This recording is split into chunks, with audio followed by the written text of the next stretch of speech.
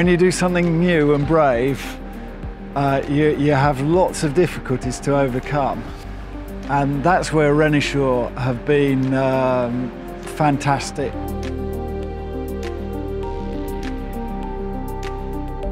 They've worked with the, the Hope and Lotus engineers to do that refinement at breakneck speed.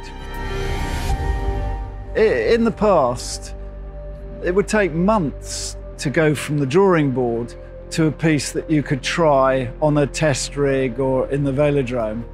Now it can be done in, in weeks.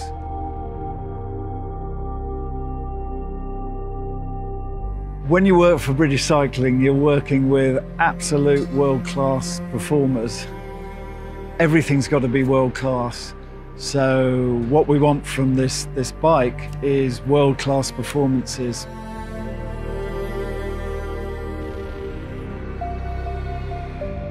You win or lose by fractions of a second, so every single little bit counts. And if a bike can even give you the slightest little gain, then that could be enough to have the upper hand on, a, uh, on an opponent, yeah.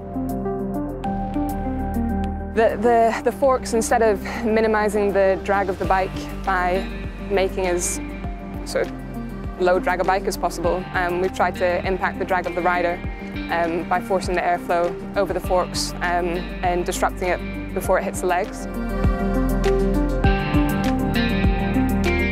Like your bike just becomes an extension of the body and get used to how everything feels and the way it sounds and but yeah, it's, it's unusual that you get on a completely different bike and straight away it feels better.